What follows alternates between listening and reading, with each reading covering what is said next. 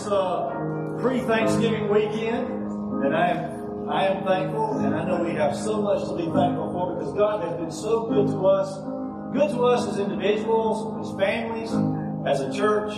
So much to be thankful for. We are so highly blessed. Welcome to El Bethel Baptist Church. If you're watching from the uh, World Wide Web or through Facebook, we welcome you. We're located at 313 Jones Avenue. We'd love to have you come and join us.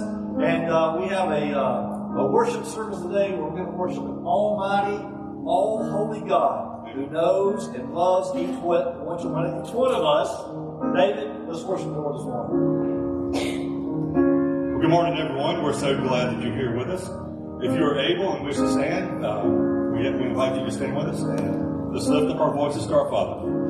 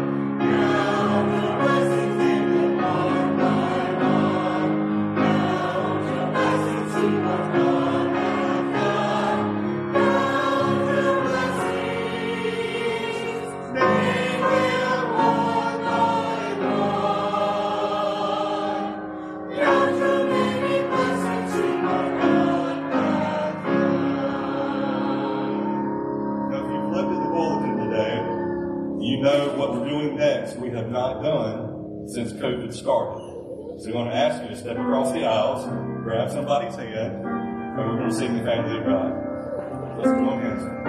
If you're comfortable doing so.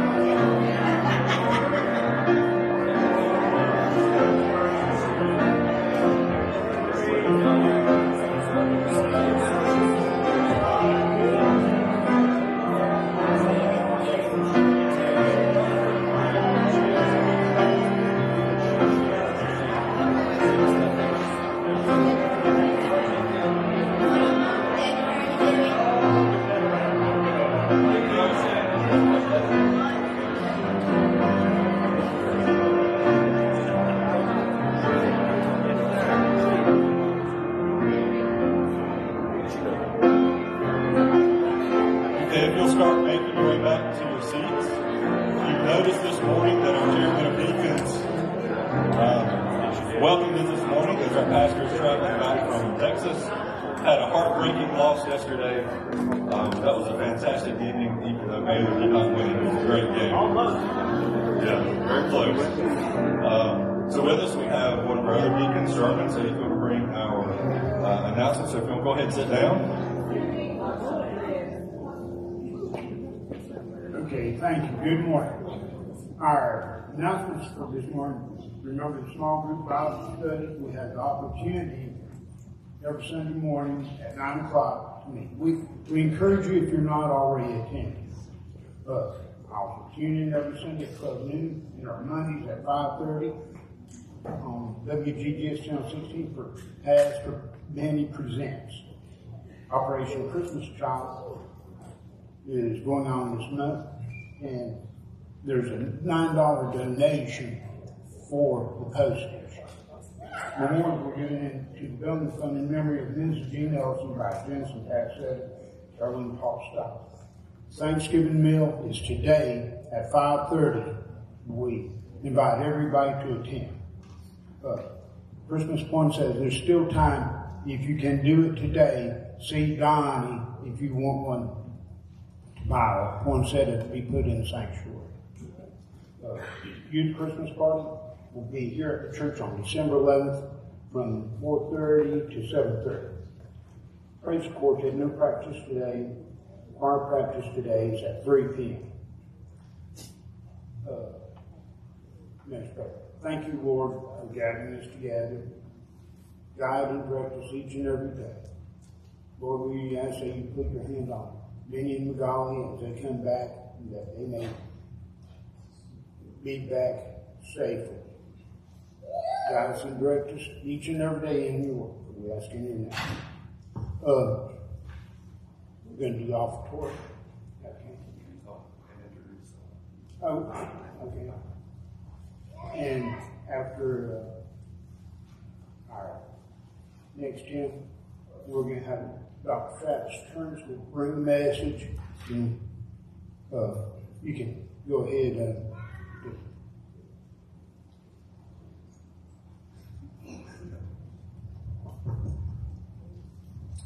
As we've done uh, every week, especially since COVID, um, as you're aware, we do not pass plates for the offering, but we do ask you to, um, if you have not given and you would be like to give today, a lot of people give online, but if you are giving today, um, Reed, if you go ahead and play offering for us, please um, place your offerings in the baskets this morning.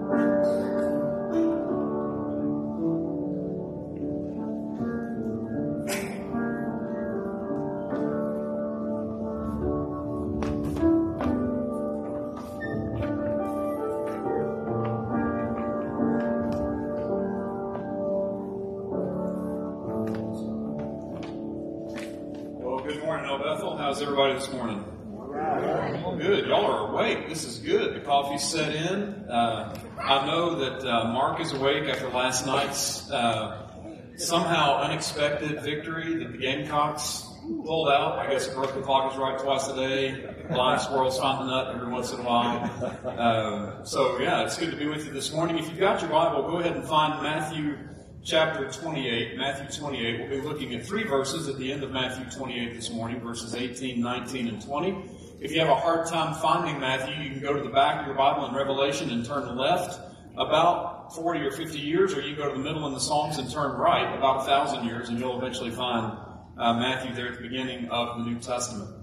While you're finding Matthew 28, let me tell you that it is good to be with you this morning. As was mentioned earlier, my name is Travis Kerns, and I serve as the Associational Mission Strategist for the Three Rivers Baptist Association. Now, that's a big title that really doesn't mean much of anything. Uh, Associational Mission Strategist is the, the old title is Director of Missions. The title before that is Associational Missionary. Usually I just tell churches if you say, hey, you, then I'll answer uh, to just about anything. We spend a lot of our time, in fact, most of our time, working with pastors in the area. The Three Rivers Association is made up of 91 churches, so you have 90 sister churches across the northern half of Greenville County and the western side of Spartanburg County.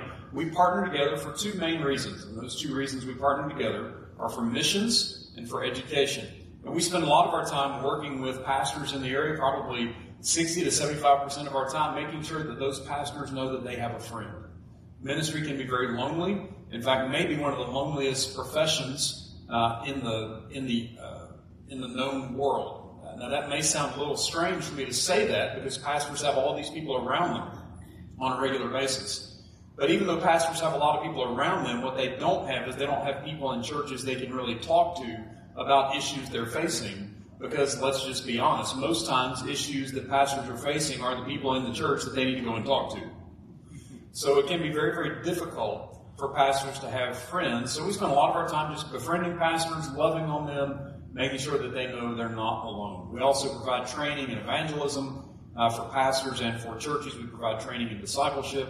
We put together missions opportunities and evangelism opportunities. In fact, I've spent some time here. I think I've spent, I was telling my wife and son on our way in this morning, I think I've spent more time here than any other church in the association. We spent, as you all know, you had a Next Steps Forward team uh, that met over the last few months. We, uh, myself and a representative from the South Carolina Baptist Convention, spent a lot of time with that team, uh, getting some things kind of put in place and setting some ideas for you guys to move forward. And then did a couple of Wednesday night evangelism trainings here. I probably spent eight or ten hours, maybe twelve, depending on how much Mark wanted to talk during those uh, training times. Uh, but it's been good uh, to be with you. So, been here now since January. I, I, grew up in this area, grew up in Taylors, just down the street. I grew up at First Baptist Taylors, and then went to Riverside High School. So, if there's any Greer people here, I'm sorry, I'll use small words. I'll talk real slow. in fact, I'll, for Greer High School people, I'll use smaller words and talk slower than I do for Gamecocks because they have That's just the Riverside in me, sorry. Yeah. Uh, and the Clemson. So anyway, I went to Riverside High School and then graduated there and went to North Greenville University. So I can say thank you immediately to your church because every dollar that you put in the offering plate, part of that goes to the South Carolina Baptist Convention and part of that money then goes on to North Greenville University. I'll pay for my education. I'll pay for Jonathan Rentz's education, one of my uh, closest friends in college. In fact, probably the closest friend I had in North Greenville. I was surprised he walked up to me this morning and, and it's here. Y'all have a blessing in him and as you get to know him more and see him serve more, you'll know that uh, to be the case. So you help pay for my education there and then served for two years at Mountain Creek Baptist Church as associate pastor. And then we moved in 2001 to move to Louisville, Kentucky, which we thought would be a very southern city. And we found out very, very quickly it is the northernmost southern city and the southernmost northern city. Louisville is a place that it doesn't know where it is. It doesn't know what it is. It's a very strange place, but we spent 12 years there. I did a master's degree and uh, PhD at Southern Seminary, and then taught there for almost 10 years. So again, your church had a part in my education in giving to the cooperative program at the Southern Baptist Convention. So I want to say thank you for my undergraduate, thank you for my master's degree, thank you for my PhD, and thank you as well because you paid me as I taught on faculty there at Southern for almost 10 years. And we felt called the mission field, moved in 2013 to Salt Lake City, Utah. My doctoral degree is actually in Mormonism, so Believe it or not, I'm the only Southern Baptist currently living uh, that has doctoral training in Mormonism. So started doing that when we were at North Greenville together, when John and I were there, and Stacy went there as well. And now our son is there. So I can say thank you for my wife, for me, for Jonathan, and for our son who's training in North Greenville. Started studying Mormonism there and fell in love with it. And that's all I've done since January of 1996. When we moved to Salt Lake City in 2013 to be missionaries with the North American Mission Board and help plant churches, and by God's grace and for His glory, we saw 56 churches started in cities that had never had a Christian church ever in their history. Now think about that for a second. Think about what it would be like to live in a place, like, for example, the city of Greer now has about 60,000 residents, according to the mayor. I was just in a meeting with him a few months ago. He said Greer's got about 60,000 residents. We lived in a city in Utah of 55,000 that had never had a Christian church until 2013. Never.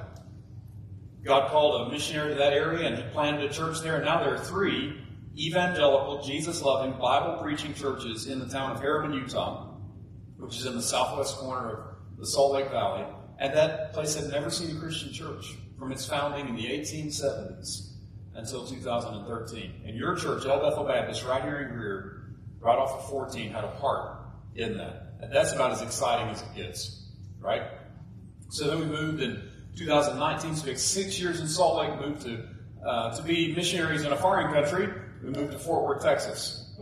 Some of y'all will get that, some of you won't. Texas is a place all unto itself. It's a very different place. Texans love Texas more than any person I've ever met from any state in the U.S., except for South Carolinians.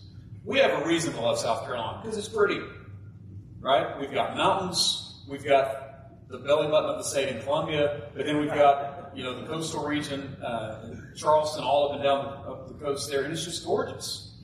Texas is four things: it is brown, it is hot, it is flat, and it's ugly. That's all there is to it. And they don't even know what barbecue is. Texans think that barbecue is made from cow. I could not convince them in our two and a half years there that barbecue is actually made from pigs. And the cow should be reserved for hamburgers and steaks. They wouldn't listen. I think the sun has fried their brains. But it is what it is. We were there for two and a half years. I was a professor at Southwestern Seminary and enjoyed every minute of it. But then God called us back to the greatest state in the nation, in the Palmetto State, right here in the upstate in January. We're glad to be here working with all the churches here. So I just want to say thank you for all that you do. Every time you put a dollar in the offering plate, part of that comes to the Three Rivers Association, part goes to the state convention, part goes to the National Southern Baptist Convention to help in all three areas of missions and education. So, that's a lot about me, but we're not here to talk about me. We're here to talk about Jesus. There's nothing better that we can ever talk about other than the Lord Jesus Christ. So let's look at Matthew 28. We're going to ask a pretty simple question this morning from this text. And the text is actually based on a series of lectures and then what turned into a book by a well known Christian thinker named Francis Schaeffer. Francis Schaeffer grew up here in the U.S., actually grew up in the North, uh, and about in his late 20s, early 30s, he and his wife Edith felt called to be missionaries to children to go to Switzerland. And their denomination, he grew up Presbyterian, their denomination actually sent them as missionaries to children to Switzerland. When they moved there, they moved into a college community, community with a university in it. So there were tons of 18 to 22 year olds in that particular area. Well, Francis and Edith found out that those college students had lots of questions. Big questions about life, little questions about how to get through tests and things to pray for and things like that. And what Francis and Edith did is they opened their home on Friday nights, all day Saturday, and then Sundays after church for those students to come over and just to ask questions. And all of those questions that Schaeffer kept getting, he realized that there were some common questions going on. And he turned those answers to those questions into a series of lectures that turned into a series of videos. And that eventually turned into a book. And the book is called How Should We Then Live? And it's basically his answers to big questions from the Bible. Well, this morning, what I want to do is ask that question how should we then live? Or maybe to make it a little easier to think about and maybe a little bit more contemporary language, just ask the question what now? What do we do now? And it's based on the idea that Jesus has ascended to the Father. He did so about 2,000 years ago. And now that Jesus has ascended to the Father and he's no longer walking with us personally, what do we do now? Right? Matthew 28. 18 through 20 will answer that very simple question for us. One of the things I love as a Baptist is I love tradition. Not tradition for the sake of tradition, but I love some good traditions. Some traditions are bad. In fact, some traditions are just dumb. Some traditions are good. One of those good ones is, is found in the book of Nehemiah. It says when Ezra the scribe stood up to read God's word, the people stood in its honor. So if you're able and willing, stand with me as we read Matthew 28, verses 18 through 20. Matthew, writing under the inspiration of the Holy Spirit, records these words. He says, And Jesus came up and spoke to them, saying, All authority has been given to me in heaven and on earth. Go, therefore, and make disciples of all the nations, baptizing them in the name of the Father, and the Son, and the Holy Spirit, teaching them to observe all that I commanded you. And lo, I am with you always, even to the end of the age. Let's pray together. Lord, we thank you for your word. Your inerrant, infallible, sufficient, fully authoritative word. Not just for us, but for all people everywhere. Lord, this morning as we study your word from the book of Matthew, let us not run in front of the cross or lag behind. Keep us this morning at the feet of Jesus. Open our hearts and our minds to what you would have us to learn. We ask these things in Christ's name. Amen. Be seated. Let's start out, just to get some context here, let's go up to Matthew 28, 16. Again, as we try to answer the question, what now? Or again, to quote Schaeffer, how should we then live? Look at Matthew 28, 16. Now, what's just happened here is the crucifixion of Christ has happened. He's been buried. He was in the grave for three days. And then three days after he had been buried on a Friday, he rose again on a Sunday. Just as a side note, this is why we worship on Sundays and not on Saturdays. One particular Sunday in the spring is not more important than any other Sunday. Just because Hallmark says it's more important, or just because the certain phase of the moon makes Easter come on a certain Sunday in the spring. Every single Sunday has equal importance because of the resurrection of Christ. This is why we gather on Sundays, right? So, the resurrection has happened.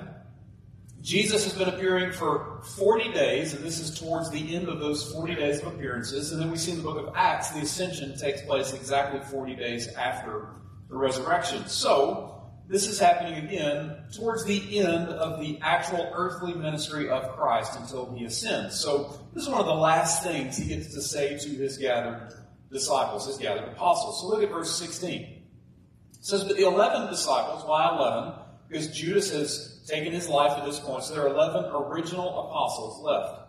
The 11 disciples proceeded to Galilee to the mountain which Jesus had designated. Why did they go to this particular mountain in this particular place? Because Jesus told them to. This is important. It will come up again later. They went because he told them to do it. Notice they didn't question what he said to them. He said, Meet me there, and they did. Notice they didn't form a committee on the meeting, the, the meeting of Jesus committee or something like that, or the Galilee committee or the mountain committee or anything of the sort. He told them to do it, and they did it. All right, now, look at verse 17. This is where it gets interesting. When they saw him, they worshiped him. Why did they worship him? Because they knew who he was. They knew he was the Son of God. He was risen from the dead. They worship Him. That's why, again, why we gather on Sunday. That's what we do as believers. We worship the risen Christ.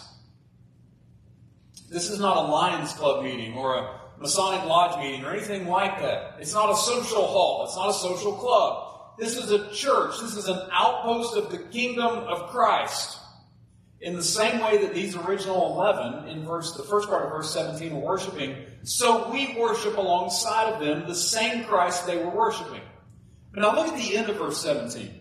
But some were doubtful. So they had seen Jesus crucified. They buried him. They'd seen him risen from the dead. They'd seen all the miracles he had performed in his public ministry. They ate with him. They spent a lot of time with him. In fact, Jesus spends the majority of his time with one person, with Peter. A little bit less time with two others, James and John, to form the group of three of Peter, James, and John. And a little bit less time with nine additional people, those original 12 apostles. And the minority of his ministry is done in public in either small or large groups. So these 11 men have spent more time with Jesus together than anybody else. That's why they did what he said. But notice what else happened. They were doubtful.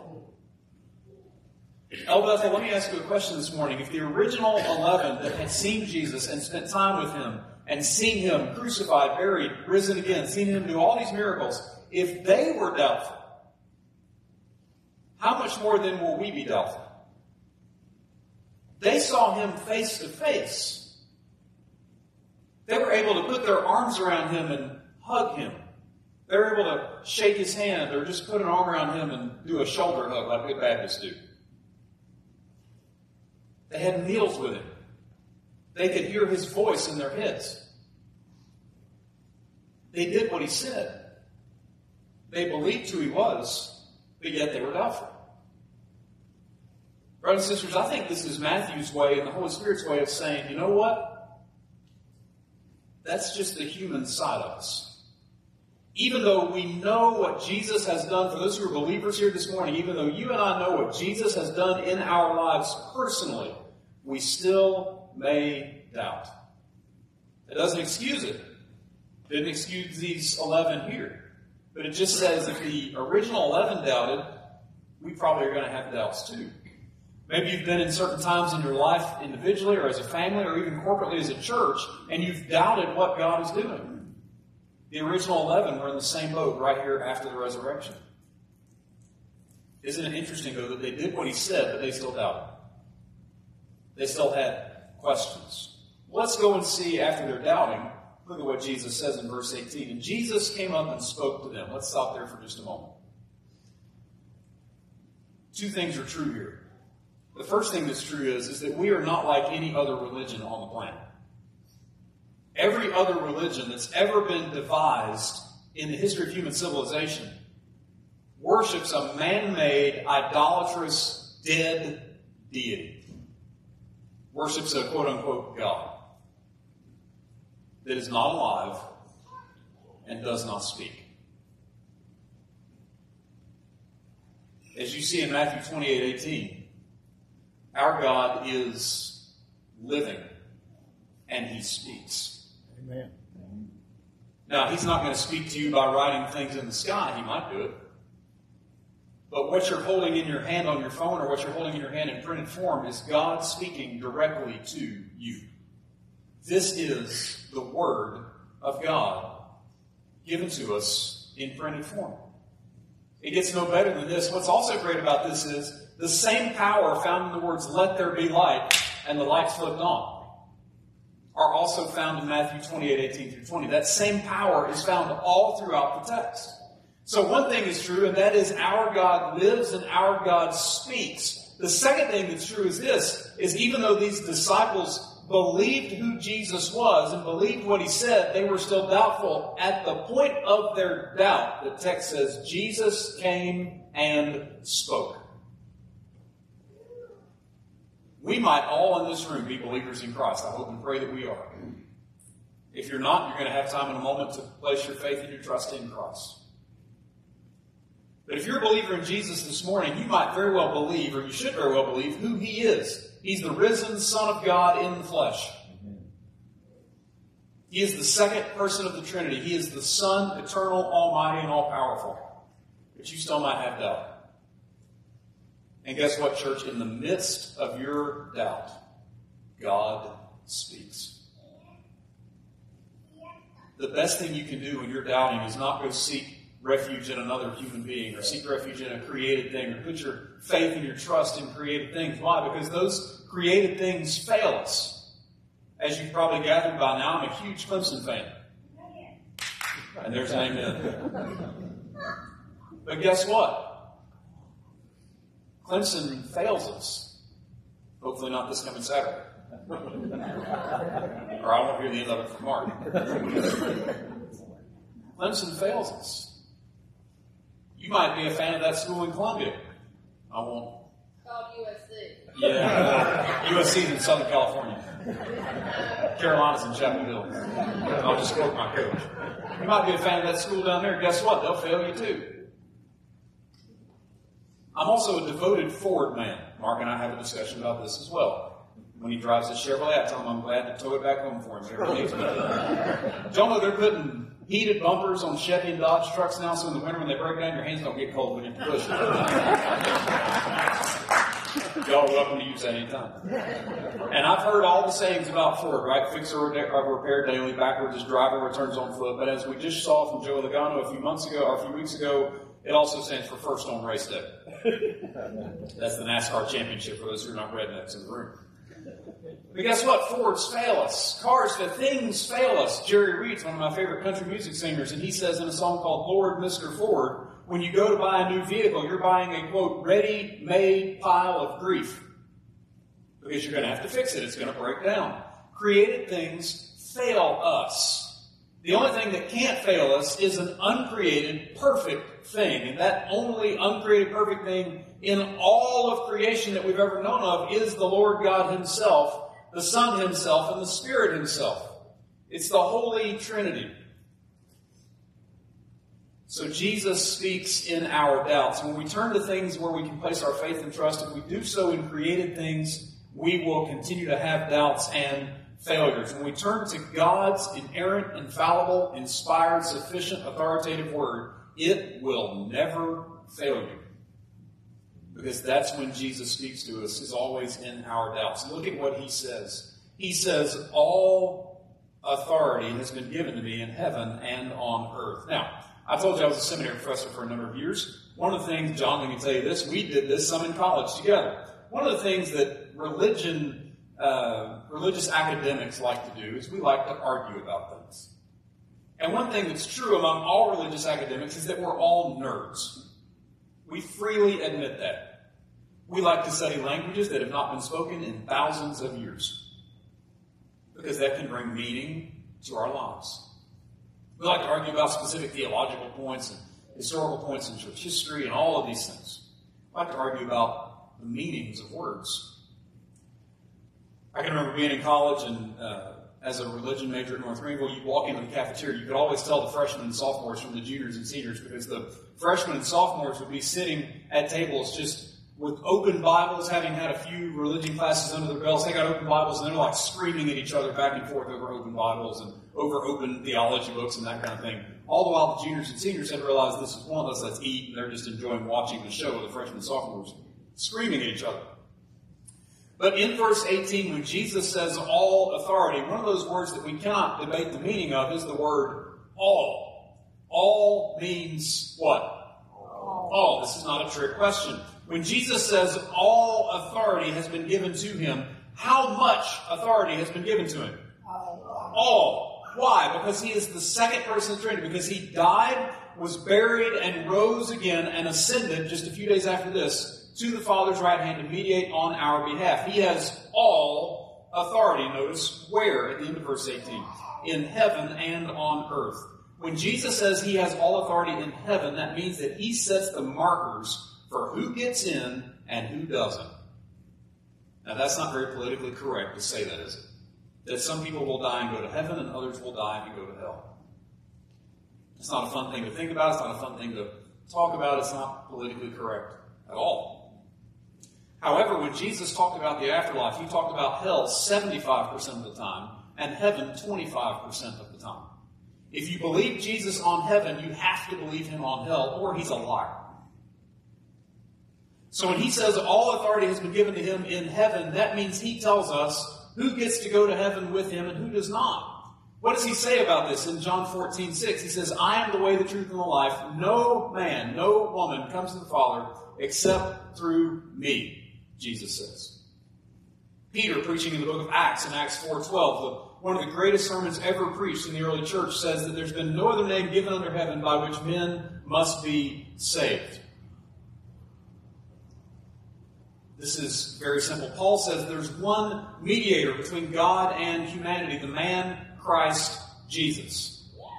Jesus sets the markers. It is only by placing faith and trust in Him that we may go to heaven, in Him and in Him alone. When He says all authority on the earth, that means that because He is the risen Savior, the Son of God, the agent of creation, He gets to tell us what to do, and we must do it.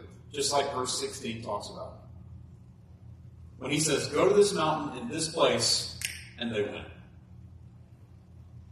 So he tells us who gets into heaven and who doesn't. And while we're here, he tells us what we are to do.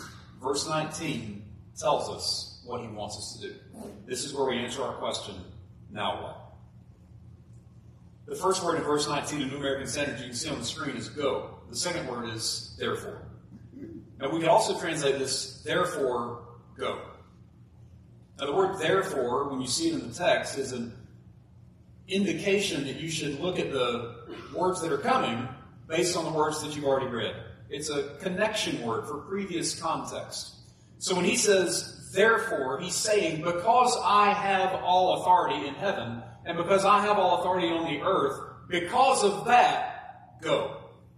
So the first thing Jesus tells us when we ask the question, now what? What do we do now that he's risen and no longer with us in person? The first answer is we share the gospel message of Christ with every person with whom we make contact. Period. We are to be personal evangelists. We are to share the message of Christ. I know this cross is up here for a reason. I love walking in this morning. I, I remember the uh, first Wednesday night I was here, and uh, Brother Benny had put this up here. There were no little pieces of white paper on it And I love seeing it now, seeing all of these names that are up here that are being prayed for. I want you to think about if you put one of these up here, think about that person in your head right now. Think about that person's face. And ask the Lord, even right now, to give you opportunity, to give you conviction and boldness and compassion to share the message of the living Christ with the person whose name is up here. Think about the one who shared Christ with you. Aren't you thankful that that person had the boldness and conviction to share Christ with you? Because had that, not, had that person not shared with you, you may have never heard the gospel. Will you be that one for somebody else? Will you be that one for the person that you've put on this cross here? I would encourage you to take every single opportunity to be the one who might share the message of the living Christ, the only message on earth that can give a person hope. The only message on earth that can give a person a positive outlook on life. The only message on the earth that can give a person eternity in heaven, and that's the message of Jesus. You know, we talk about things that we love, don't we? It's very easy to talk about football, if you like it. It's easy to talk about any kind of sports or whatever it may be. How many of you, by show of hands, have children or grandchildren? Okay? How many of you, even if nobody asks, right? So I told you we've lived in different parts of the country for 20 years. We just came back in January. One of the things we realized when we got back is South Carolina's weird. Now, here's what I mean by that. What I mean is, I can be walking through the grocery store up here on 101 in Ingles and see somebody on the same aisle I've never met in my entire life. Wouldn't know them from anybody. And they walk up and they just start talking. Look, if you do that in Kentucky, somebody thinks you're weird. If you do that in Utah, somebody thinks you're trying to sell something. If you do that in Texas, you're likely to get shot. That's how it goes. So we're in the grocery store our first month or so here, and we're walking down the aisle buying our groceries, and somebody just walks up and starts talking. Stacy even leans over, Do you know who this is? I have no idea. Having grown up here, I know some people, but I've been gone 20 years, so those people have gotten older, and I've gotten older, and you just don't recognize them anymore. But they just start talking. Now, my guess is if you've got kids or grandkids, and somebody starts talking to you in the grocery store, you're going to share about your kids and grandkids. Why? Because even if your kids or grandkids are the dumbest person on the planet, you think they are an honor roll student at whatever school they're in, and they will be the next rocket scientist from NASA. Because you're proud of them, and rightly so, because they're your children or your grandchildren. You talk about things you love, and you don't even have to find a reason to bring it up. You just talk about it, right? We talk about things that we love, and we do so very freely. We get excited about things we love. Yesterday, there were 85,000 people in Clemson and 85,000 people in Columbia, and they were all screaming like crazy people, like chickens with their heads cut off. I mean, going crazy over something that ultimately doesn't matter. Yet, when it comes to talking about Christ, all of a sudden our kid or our grandkid or our sports team screaming mouths get zippered shut and padlocked, and we find it awkward to talk to people we don't know. There's something wrong here. There's something that's missing. Dabo Swinney did not die for us. Shane Beamer did not die for us. Your kids, your grandkids did not die for you and rise from the dead to secure a spot for you in heaven if you place faith or trust in him or her. Jesus did that, church. That's what we should be spending our time talking about. Now we can have fun talking about other things, and sometimes you need a just a quick opener to talk to somebody about something, sports or kids or whatever it may be, might be that opener, but man, don't just end there. Talk about Jesus. You can talk about whatever you might like that's man made for as long as you want to talk about it, and that person will die in his or her sins and spend eternity in hell facing the full, complete, total wrath of God. So Jesus says, Go. Share about who I am. So the first thing we're to do is to share the gospel. What's the second thing we do? He says it right here. Make disciples of all the nations. So the first thing when we think about the idea of what's next or now what or how should we then live is to be personal evangelists, to go. The second thing is to teach Scripture, to make disciples. Did y'all know that Christianity is easy? And church is easy. But guess what? We make it hard. We make Christianity hard. We make church hard. Why? Because that's what we do. Humans complicate things. We form committees. Now, again, I'm a, I'm a lifelong Baptist. I'm Baptist born, Baptist bred. When I die, I'll be a Baptist dead. We have committees for everything. We even have committee on committees at the national level and at the state level. We do not have one at the association level, and we never will. We have committees on committees. We have nominating committees. We have flower committees. We have bereavement committees, as though we need a committee to help somebody grieve. Right? We have committees literally on everything. We make things difficult. Very difficult. What does Jesus say we're supposed to do individually? Share about Him, teach the Bible. What does He say we're supposed to do as we're gathered together corporately? Share about Him, teach the Bible. Evangelism, discipleship. That's it.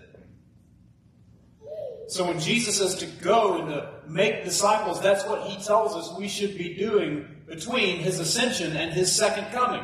That's what we're to do. Share the message of the gospel with an unbeliever. That's evangelism. Share the message of the gospel with a believer. That's discipleship. El Bethel, I want to encourage you as strongly as I know how this morning to do something. And we talked with this uh, with the next step team about this. Guess what? Go through every single thing your church does. And if it's not directly sharing the message of Christ with unbelievers or directly sharing the message of Christ with believers, if it's not directly evangelistic or discipling, stop doing it. Because Jesus said, I will bless evangelism, I'll bless discipleship. And guess what? Even while we're sitting here this morning, we're fulfilling Matthew 28 19. Because the gospel is going out in here and across the internet, and discipleship is going on in here and across the internet. Isn't that exciting to know that 2,000 years ago, Jesus said to do this, and we're sitting here this morning, thousands of miles from where he said it, thousands of years into the future from when he said it, and we're actively fulfilling it right now. It gets no better than that. He also says, make disciples of all the nations. Now, y'all don't share this with anybody. This will be our secret.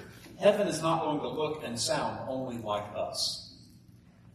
I know this is hard to believe. Sitting in South Carolina, there will be people from California in heaven. I know that's crazy. Mind blowing. There will be, now this one's really, um, there will be politicians in heaven. I'm tempted to make the lawyer joke and say there'll be lawyers in heaven right? But I think politicians kind of cover that.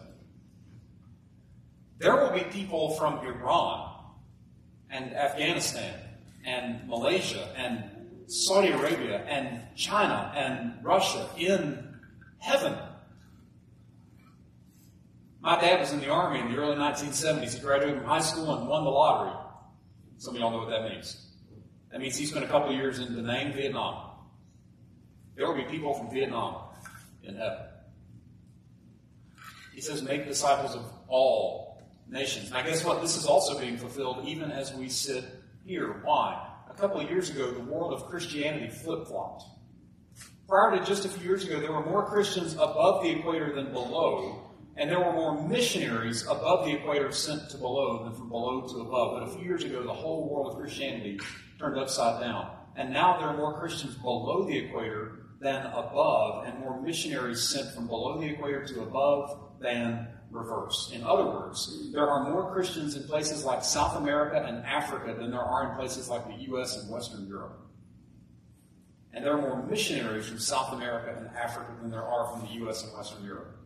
Nations are evangelizing nations. They're making disciples of all nations. Did y'all know the fastest growing Christian church right now is not found in the U.S., it is not found in Western Europe, it is not found in South America, it is not found in Africa, it is found in China, where it is illegal, legally not permitted to be a Christian. Like if you're found out to be an evangelical, Bible believing, Jesus loving Christian, you will be either thrown in jail or killed. If you're found on the street sharing the gospel message of Jesus, you will be put in jail. Period. If you're found in your private residence sharing the message of Jesus and the religious police find out, they take your house from you and put everybody in the house in jail. That's where the Christian church is growing the fastest. Because historically, Christianity has grown the fastest where it's being persecuted. We're not persecuted here. And don't tell me that when you pray over your meal when you were in school or when you pray over your meal when you're at work, that somebody's snickering at you is persecution. Go and talk to a Chinese Christian about that. Go and talk to a brother named David, one of my PhD students at Southwestern Seminary. He lives in northern Nigeria who every time he comes online for a class, he says, if my internet cuts off, pray for me. Because he only lives 20 miles from the headquarters of Boko Haram, which is a fundamentalist terrorist Islamic organization. And they invade his town with regularity, on a regular basis, just to go in and kill the Christians. Don't tell me we're persecuted here.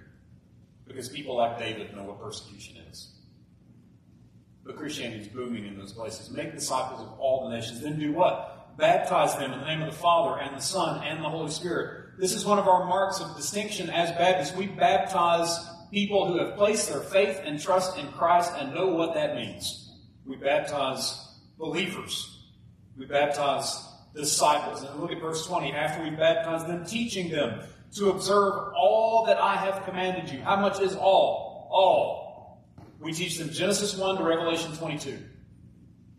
What's your curriculum for discipleship? You're holding it in your hand. That's what you teach. Everything that he commanded. And then look at what he says. And lo, or behold, I'm with you always, even to the end of the age. How long will Jesus be with us? The answer is yes. Until he comes again, Jesus is with us. How? Because he sent the Spirit to reside in believers. Even as we are sitting here this morning, if you're a believer in Jesus Christ this morning, the Holy Spirit of God dwells in you and has changed you from death to life and now gives you the ability, having changed you from death to life, to worship Him, to know Him, to seek His will, and to read Scripture for what it really is. To see creation for what it really is to fellowship with other believers. None of us grew up in the same household. None of us grew up maybe even in the same neighborhood. We're all from different places and different times and different generations. But what? God has put us together and bonded us together through something that Augustine called the bond of love. In the fourth century, a Christian in northern Africa said the Holy Spirit is the bond of love. And that's who dwells in us, giving us the ability to know that He is with us always, even until the second coming. Do not fear when you think about the name that you put on this cross. Do not fear when it comes to considering how you will share the gospel with that person. Why? Because the Spirit of God, the same one that hovered over the waters in Genesis 1, lives in you and gives you the power to do it. You just have to open your mouth and trust that He'll give you the words. That's it. So, what now? Again, as I mentioned, we talk about things we love. The question is, what do you love? You can say you love Jesus all you want, but do you put your money where your mouth is? Are you actively sharing your faith with somebody when you come into contact with them? You, again, you might be the only one, the only Christian that person ever sees, ever meets. will you be the one to share? Will you be the one to open your mouth and share the message of Christ? Now, you might be sitting here this morning or watching online. Maybe you've never heard the message of Jesus, or maybe you're sitting here this morning, you are a believer in Jesus, but you're not sure how to share the message of Christ. This is so, so simple. Paul says in Romans 1 that the gospel is the power of God for salvation. You don't have to memorize anything. You don't have to worry about making sure you say all these right verses or do all these right things. There was a great uh, evangelism tool in the 1980s called Evangelism Explosion. D. James Kennedy and down in Florida came up with this. You had to memorize hundreds, it seemed like, of verses to be able to share with somebody. Guess what? That's not an absolute necessity. Dr. Matt Queen, a friend of mine who's a professor of Southwestern Seminary, says this if you know enough of the gospel to be saved, you know enough of the gospel to share it. Well, that's powerful? If you know enough of the gospel to be saved, you know enough of the gospel to share it. So, what is the message of the Bible that's very, very simple? Romans chapter 3, verse 23 says this that all have sinned and fallen short of the glory of God. That means simply that we have done the very thing that God commanded us not to do. You might think, no, I'm a good person. I don't sin. Really? Have you ever been to the movies and when you walk out, somebody in your group says, don't look up at the sun. It's really bright right now. And what is the first thing you do? What? And you go straight for it. Or maybe when you were a kid, your parents said, now don't eat anything, you'll ruin your supper. But I really want a cookie. Don't eat the cookie, you'll ruin your supper. What's the first thing you do when their backs are turned? You go straight for the pantry, straight for the cookie jar, and it's in your mouth. And then they come and say, You eat the cookie? With crumbs coming out, chocolate everywhere. You did what you were told not to do, then you lied about it. This has been going on since Genesis 3. What happens in Genesis 3? God creates male and female to rule over creation. What happens? He says, Have anything you want, just don't touch that tree over there the creation, the serpent goes and tempts Eve and says, Oh, no, it's okay, don't worry about it. And Eve goes and tempts Adam, and then Adam blames the whole thing on the woman and on God, and the whole creation gets flipped upside down. So now the serpent is ruling over the woman, who's ruling over the man, and blames it all on God. God says, Adam, what did you do? It's that woman's fault that you gave to me. That's what he says. We've been blaming others since Genesis 3. But the Bible says all have sinned and fallen short of the perfect standard that God sets for us, and that is perfect goodness, perfect holiness. The Bible says a few chapters later in Romans 6:23 that the wages, the payment for that sin is death. We are like weathermen. We get paid to mess up. It's the only job on the planet you can have, be wrong every day and do your job. Except for being a human being and being a sinner, right? You get paid to mess up. The payment, the wages of sin is death, physical and spiritual death. But the Bible says you can escape spiritual death through the rest of Romans 6.23. The wages of sin is death, but, and there's the best word in the Bible right there. Without but, we never get to Jesus. The wages of sin is death, but the free gift of God is eternal life through Christ Jesus our Lord. So the Bible is very plain and very simple. If you place your faith and your trust in Jesus, that He did enough on the cross to cover for your sins. If you just say, Yes, Jesus, you did enough to save me. Please change me. Please save me from spiritual death. He will do so. Romans 5 8, a chapter earlier, says that even while we were yet sinners, Christ died for us. That means very simply, very plainly, that you can't be a bad enough person that Jesus can't change you. Even while we were actively doing the very thing God told us not to do, Christ died for us. How do you apply that? Romans 10, 9, and 10 says, If you confess with your mouth Jesus is Lord and believe in your heart that God raised him from the dead, you might be saved. No, it says you will be saved. So the question I have for you this morning is very simple. What now? As believers, we're to share our faith.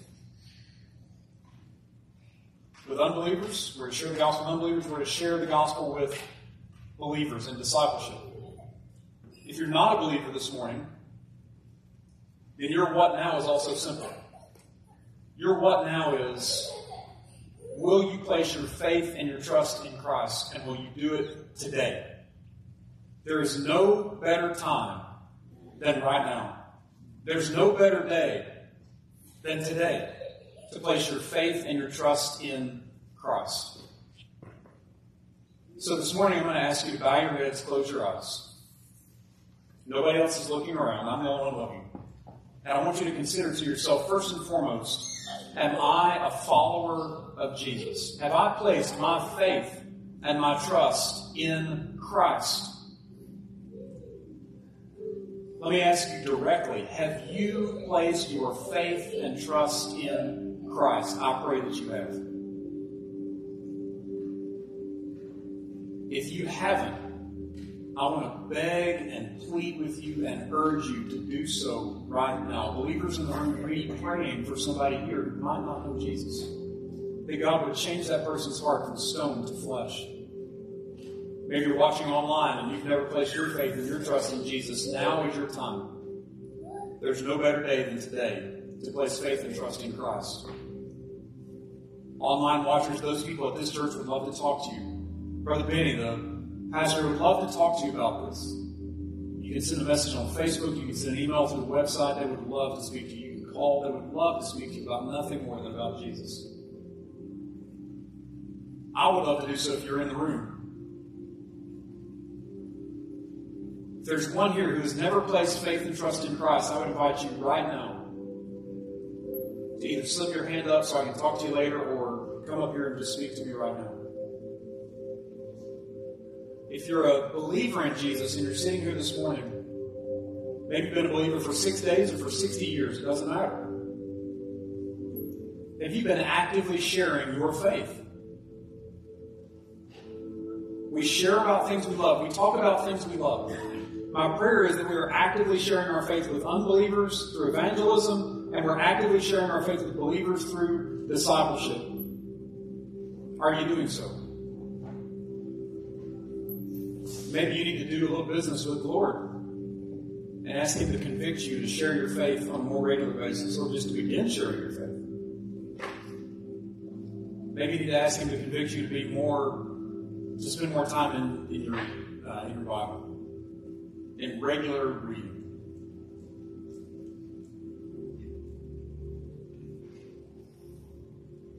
This is your time to do so. If you're not a believer, this is your invitation to follow Christ. If you are a believer, this is your invitation to be more convicted and be more serious about who Jesus is and what he's done. Would there be anyone here who would say, Brother Travis, I need prayer because I'm not a believer? If you would say that, slip your hand up. Nobody else is looking around except for me. I'm not going to embarrass you or ask you to come forward or anything like that. Would there be a believer here who might say, Pray for me that God might convict me to be more about sharing with others about who Jesus is and about what He's done? You slip your hand up as well. I would love to pray for you. This is something that we can all pray for each other about. The best news is this God loves you. Jesus died for you. There is no better message we can share with anybody, anywhere, at any time. Would you stand with me as we have our prayer of benediction? Our God, this morning we are thankful for who you are. We're thankful for what you've done for us in Christ.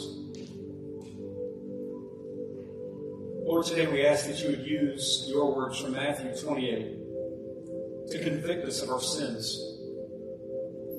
First and foremost, we ask that you would use that word to convict unbelievers, change their hearts from stone to flesh, so that they can see you for who you are, for what you've done for us in Christ. Or for those of us who are believers, we ask that you would convict us to be about sharing the message of Christ with those around us. Lord, we know within a five mile radius of this church there are 100,000 people, 78% of whom do not know who Jesus is. 78,000 people within a five mile radius of this church. If they were to die today, would die and hear, Depart from me, you worker of iniquity. Enter now into eternal torment. Enter now into hell. Lord, convict us to share the message of the living Christ. Lord, start with one here at El Bethel Baptist. May that one convince another and convince another and convince another until we see a movement from this place to go out and share the message of Christ with people all around. Lord, begin here with the believers here to disciple each other and to encourage one another such that iron sharpens iron. And Lord, we ask today as we depart that you would keep us safe. We ask you to bring us back safely next time we meet. And we ask that you would give us an opportunity, even today, to share the message of Christ with one who may have never heard. Give us boldness, give us conviction, and give us compassion. Jesus wept over Jerusalem because of its lostness. Paul wept over Athens because of its lostness. God, may we weep over the 78,000 within a five mile radius of this place who do not know who Jesus is. And may that compassion move us to conviction to share. We thank you for who you are. We thank you for what you've done for us in Christ. And we ask all these things in Christ's name. Amen.